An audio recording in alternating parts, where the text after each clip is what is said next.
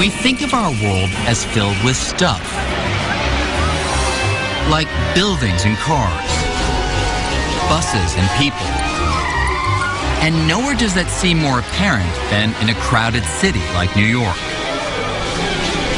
Yet, all around the stuff that makes up our everyday world is something just as important, but far more mysterious.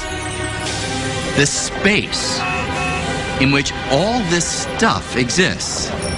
To get a feel for what I'm talking about, let's stop for a moment and imagine. What if you took all this stuff away? I mean, all of it. The people, the cars and buildings, and not just the stuff here on Earth but the Earth itself. What if you took away all the planets, stars, and galaxies? And not just the big stuff, but tiny things down to the very last atoms of gas and dust. What if you took it all away? What would be left? Most of us would say nothing, and we'd be right. Strangely, we'd also be wrong.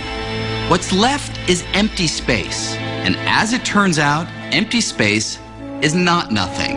It's something. Something with hidden characteristics as real as all the stuff in our everyday lives. In fact, space is so real, it can bend. Space can twist. And it can ripple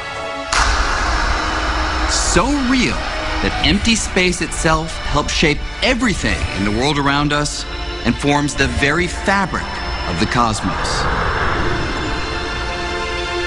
Well, you can't understand anything about the world unless you understand space, because that's the world. The world's space with stuff in it. We're not usually very conscious of space.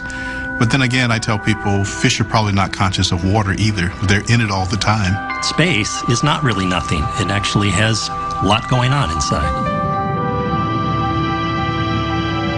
When most of us picture space, we think of outer space, a place that's far, far away. But space is actually everywhere. You could say it's the most abundant thing in the universe.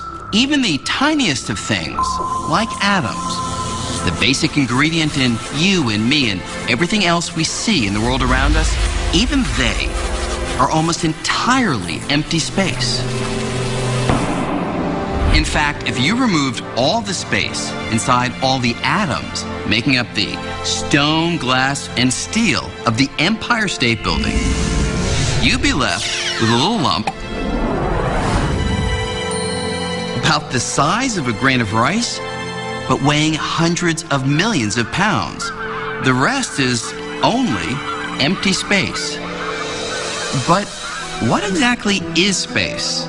I can show you a picture of Spain, of Napoleon, of my Uncle Harold. But space, it looks like this nothing. So, how do you make sense of something that looks like nothing? Why is there space rather than no space?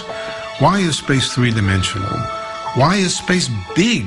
We have a lot of room to move around in. How come it's not tiny?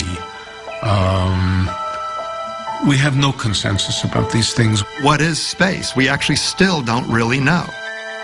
It is one of the deepest mysteries in physics.